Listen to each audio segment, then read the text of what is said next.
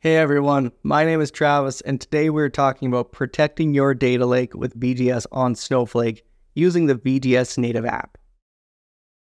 There are multiple topics we're going to cover for this demonstration, but first we're going to talk about what is tokenization. Then we're going to get into tokenizing data in Snowflake and how we can configure the app to tokenize different columns. We're going to talk about how we can utilize those tokenized columns so that your business can still run we're going to go over how we can allow for privileged access so that some of your users can get access to the original data, but some of your users can only get access to the tokenized versions. And finally, we're going to be going over how we can add tokenization to your data pipeline so that your business processes are not impacted when you're adding new data into your system. So, first off, what is tokenization? Here I have an example of a social security number. Using VGS, we can vault that social security number and provide you back a tokenized version that, that you can store in your environment. With this token, we can ensure that only privileged users can access that original data. Without being a privileged user, you can never get the original social security number. So, how does this work with Snowflake? Here I have an example of a table that would be in your Snowflake environment that has multiple columns, all with their different risk profile. So we have name, our first name, which is which we're calling level three because it's non-sensitive, so anybody can get access to this data. Next, we have social security number, which is high risk because if you if somebody got access to this data, they could steal that person's identity. And finally, we have email address, which is we're we're considering level two data because some people in your business will need access to this so that they can contact that customer or contact that user. But some uh, but other people in this business are in your business won't need access to that information at all. So using the VGS native app, we can tokenize all of the different data in this environment. As you can see on the right side, the email column is fully tokenized and there is no reference back to the to the email address. However, the SSN column is tokenized in a format that will preserve the last four digits. So it's it, it still looks like an SSN, but it and it still has it uh, still has certain characteristics of an SSN, but it no longer represents that customer. So next, we'll talk about how we can utilize tokenized data after we abstract that customer data away, how can we ensure that your business can still run and your analysts or your data scientists can still run their queries? Here, I have an example of a customer table uh, with the with the same information as before, and an accounts table that has a list of all of the balances on that for that for that customer. Here, you can see that the SSN is the only thing that is common between these two tables. So the data scientists or the analysts will need to use the SSN to join them. Because they've both been tokenized with the VGS native app, those same values can be used to join the table. So your business runs as usual. Now, how do we allow for privileged access so that some users can get access to that original social security number, but other users can only get access to the tokenized format? Using the VGS native app, we can configure different levels. Here I have an example of what a level one user can see. And as you can see, they can see all the different fields in the raw. So they can see name, social security number, and email address. We can also configure level two users who they can see the privileged access column because they need to be able to get access to send the emails, but they can't get access to the social security number. Finally, we have level three users who only see tokenized data. They do not need to see the, the raw data in any circumstance. Okay, finally, how do we add tokenization into your data pipeline? Let's say we have a nightly batch import process that is taking in data from your vendors. This data has social security numbers in it, and we want to we want to import this into your Snowflake instance. So the first thing we'll do is set up a staging table in Snowflake, and we will configure this so that only database administrators or administrators of the VGS application can get access to it. And this is where we will initially import all of the data. And then using the VGS native application, we will tokenize all of the data that, that enters into that staging table and move it over into the business table, which means your line of business can only ever get access to the tokenized data. All right, now let's jump into a demo and see this in action. So here we are in Snowflake, and as you can see, I've already installed the VGS Vault Tokenizer application into my Snowflake account. Let's jump over into our worksheets where I have the setup data SQL script. This setup script is also available from the GitHub Quick Start Guide for this application. And I'm going to go ahead and run the script. Of course, I need to be an account admin. So I'm going to run all of the different queries. Uh, this is going to set up my customers table that has a bunch of sensitive data in it, including SSN, driver's license number, and email address. It also has an account summary table that has a list of all of the accounts and their corresponding the amounts in each account for this SSN. Note that the only thing that joins these two tables is the SSN. There's no there's no other ID that a, that an analyst or a or somebody from the line of business would be able to use. Here you can see all of the sensitive data that's being imported into my tables. Then we perform a bunch of grants to to ensure that the, the application has access to my to my data warehouse, to the database, uh, to the tables, and to the columns uh, and uh, some grants and a few alters. Next, let's jump over into our sample queries worksheet, where we will we're going to switch over to being an analyst. Here we have configured three different roles as analyst, senior analyst, and data owner. Analysts are allowed to are are only allowed to see tokenized version of the data. Senior analysts are allowed to see some sensitive data, that's level two, and then finally, data owners are allowed to see all the sensitive data. That's level one data. But let's uh let's select from customers as an analyst. As you can see, the SSN, the driver's license number, and the email address are not yet tokenized. So let's jump over into our VGS application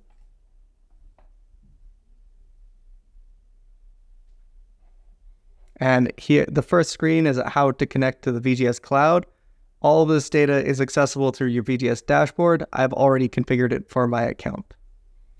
Uh, let's jump over to the tokenization tab. Select our database. We're in the public schema. We want to tokenize our customers table. And we're going to select the customer identifier. For the SSN column, we want to we we're going to select the the account number T4 format because this is going to preserve the last four digits of the account number. We're also going to specify this as a level one data classification. And for driver's license number, this is going to be UUID. So it's going to look very obviously like a token. It will have TOK in front of it. We're also specifying this as level one. And we're going to, for email address, we will specify this as level two and go ahead and tokenize all this data. Now you can see that it's starting the tokenization process. We can jump over to our monitoring tab. We can see that it's currently 0%, so it's just, it's just kicking off. While this is happening, I'm going to jump over to the data classification tab and walk through how I've set up these different data classes. And right here in the, in the data tiers table, we have level one, which I have described as high risk, and it only reveals to data owners. So here are all the different accounts in the system. We have data owner, senior analyst, and analyst. And level two data will reveal to a senior analyst and a data owner. And level three data will, will reveal to an analyst, senior analyst, and data owner. Let's uh let's jump back over into the monitoring tab. It, we can see it's now 100% complete. Next, let's also tokenize our our account summary table.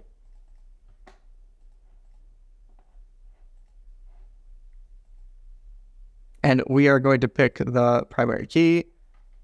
And for the account SSN, we're going to pick the same format as we did for the customers table. Specify it as level one we can tokenize. There, that tokenization process was kicked off. If we check the monitoring tab, we will be able to see it. Zero percent is just starting out. While that's running, let's jump back over into our worksheets and we can uh, we can see the sample queries. And let's select from the customers. Remember, I am an I'm in as an analyst right now. As you can see, the SSN driver's license number and email address are now tokenized. And if we if we select from the account summary table, this is not yet tokenized because that process is still running. So we'll give this one just a minute to, to finish up.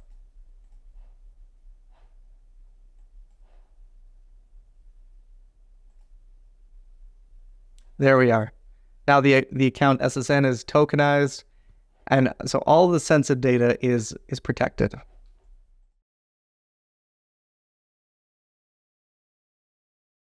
If I switch over to my data owner role, this this role is allowed to see all of the data in this table in its raw format.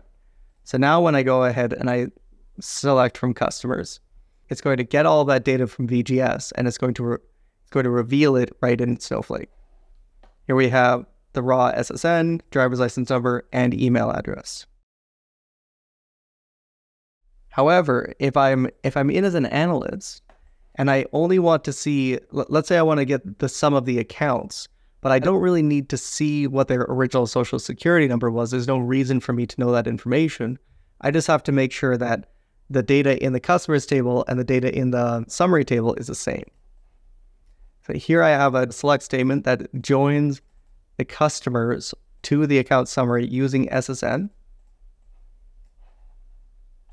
And when I run this, it's going to it's going to get me the name, the tokenized version of the SSN, and the sum of all the accounts. So we can see that Aiden Anderson has $65,000 in there in all of their accounts.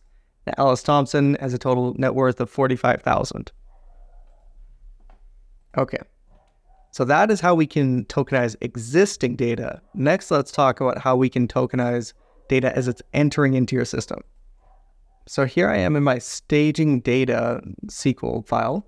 And from here, I'm going to create this new raw customers table. This is where data is going to be imported into so that it, it can then be tokenized and migrated over to the table that my that my end business users use.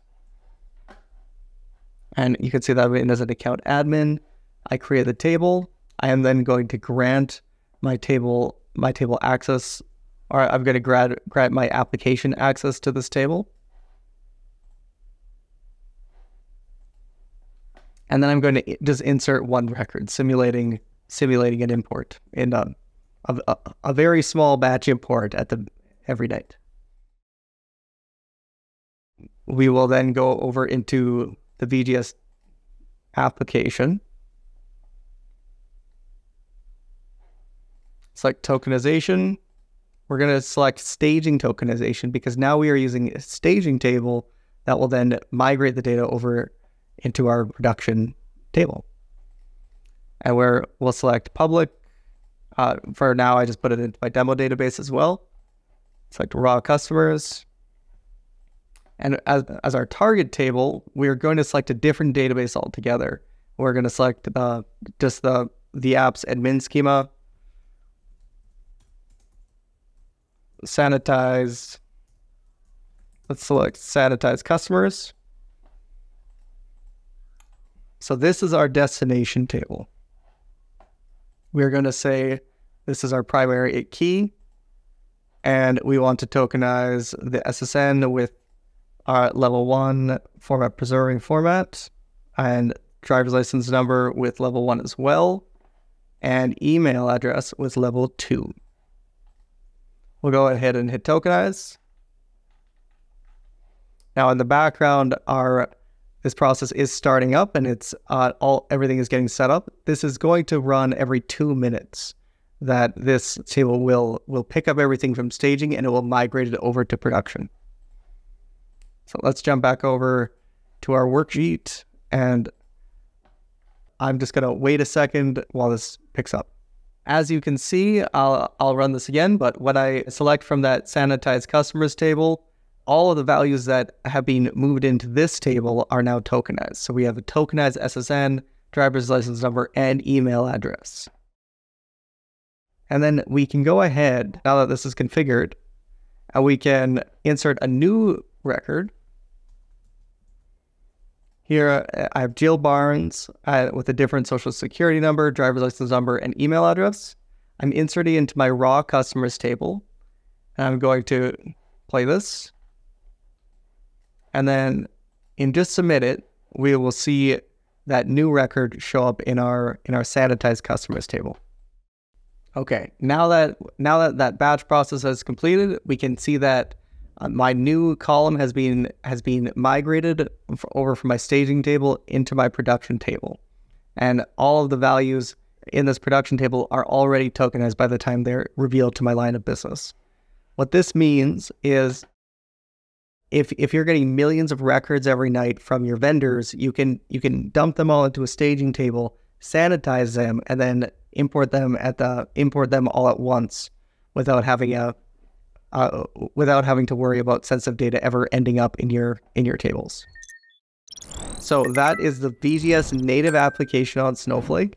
I hope this was useful, and I'll see you later.